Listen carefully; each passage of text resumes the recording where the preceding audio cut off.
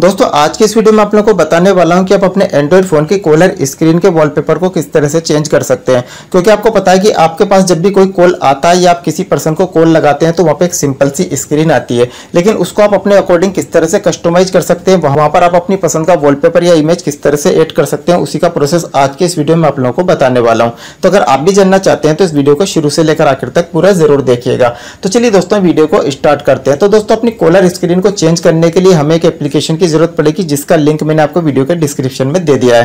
तो सबसे पहले तो उस लिंक पर क्लिक करके आपको इस एप्लीकेशन को अपने फ़ोन में इंस्टॉल कर लेना है। तो मैंने उस एप्लीकेशन को ऑलरेडी इंस्टॉल किया हुआ तो चलिए मैं उसको आपको ओपन करके दिखा देता हूँ। तो जैसे आप इसको फ़र्स्ट बार ओपन करेंगे, आपके सामने कुछ इस तरह का इंटरफेस आएगा। अब यहाँ पर आपको जो कंटिन्यू का बटन मिलता है सिंपली आपको कंटिन्यू पे टैप कर देना है। और जैसे आप कंटिन्यू पे टैप करेंगे तो आपसे कुछ परमिशन मांगेगा। इन परमिशन को आपको वन बाई वन यहाँ से आपको अलाउ करना होगा। तो चलिए, जैसे कि फ़ोन एंड कॉन्टेक्ट तो यहाँ पे हम सेट पे टैप करते हैं और यहाँ से परमिशन को अलाउ कर देते हैं। चलिए, इस परमिशन को भी हम अलाउ कर सकते हैं। राइट टिक आ चुका है। इसके बाद कॉल परमिशन की हमसे परमिशन माँगता है तो इस पर टैप करेंगे और यहाँ से हम इसे कॉल की भी परमिशन दे देंगे। तो चलिए, यहाँ से इसकी भी परमिशन हम अलाउ कर देते हैं।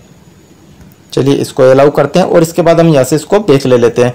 तो यहाँ पर आप देख सकते हैं कि आपके सामने कुछ इस तरह का इंटरफेस देखने को मिलता है। अब यहाँ पर आपको करना क्या होगा दोस्तों कि अगर आप इसके डिफ़ॉल्ट वाले वॉलपेपर यूज़ करना चाहते हैं तो आप इनको भी यूज़ कर सकते हैं। यहाँ पर आप देख सकते हैं कि आपको एक से बढ़कर एक यहाँ पर वॉलपेपर मिल जाएँगे। इनमें से किसी को भी आप अपनी कॉलर स्क्रीन पर सेट कर सकते हैं। उसके बाद जब भी कोई पर्सन आपको कॉल करेगा या आप किसी पर्सन को कॉल करेंगे तो आपकी जो कॉलर स्क्रीन होगी उस पर यही वॉलपेपर नज़र आएगा जो आप यहाँ से सेट करेंगे। और इसके अलावा अगर आप अपनी कॉलर स्क्रीन पर अपनी पसंद का कोई फ़ोटो या वीडियो वगैरह एड करना चाहते हैं तो यहाँ पर आपको जो प्लस का आइकन दिखता है, इस पर टैप करना है। इस पर टैप करके आप अपने फ़ोन की गैलरी को ओपन कर सकते हैं और वहाँ से अपनी पसंद का फ़ोटो यहाँ पर एड कर सकते हैं। और इसके बाद जब भी कोई पर्सन आपको कॉल करेगा या आप किसी पर्सन को कॉल करेंगे तो आपका वही फ़ोटो आपकी कॉलर स्क्रीन पर नज़र आएगा, जो कि आपने यहाँ सेट किया होगा।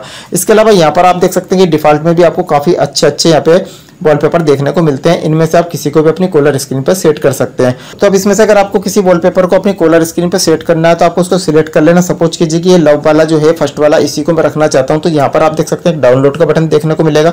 इस डाउनलोड वाले बटन पर आप टेप करेंगे तो यहाँ पर आपको प्रिव्यू दिखा रहा है कि आपके पास जब कॉल आएगा तो आपकी स्क्रीन किस तरह की नज़र आएगी। इसके बाद आपको डाउनलोड का बटन देखने को मिलता है, आपको डाउनलोड कर देना है। डाउनलोड करने के बाद आपको यहाँ से परमिशन को अलाउ कर देना है। तो यहाँ पर आपका ये वॉलपेपर डाउनलोड होना स्टार्ट हो चुका है। यहाँ पर नीचे की साइड देख सकते हैं, हमारा डाउनलोड हो चुका है।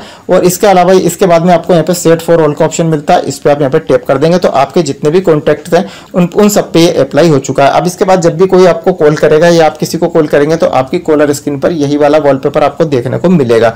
तो इस तरह से दोस्तों आप अपने एंड्रॉइड फ़ोन में अपनी पसंद का कोई भी वॉलपेपर यहाँ पे एड कर सकते हैं। तो दोस्तों मुझे पूरी उम्मीद है कि आपको प्रोसेस ठीक से समझ में आ गई होगी। तो अगर आपको आज की जानकारी अच्छी लगी, वीडियो पसंद आया तो लाइक और शेयर ज़रूर कीजिएगा। और अगर आपने अभी तक हमारे चैनल को सब्सक्राइब नहीं किया तो अभी सब्सक्राइब कर लीजिए और बेलाइकन भी प्रेस कर दीजिए ताकि आपको हमारे आने वाले से वीडियोज़ की नोटिफिकेशन मिलती रहे। तो दोस्तों, आज की वीडियो में सिर्फ़ इतना। अगले वीडियो में आपसे फिर मुलाकात होगी। तब तक के लिए अपने दोस्त को इजाज़त दे दीजिए।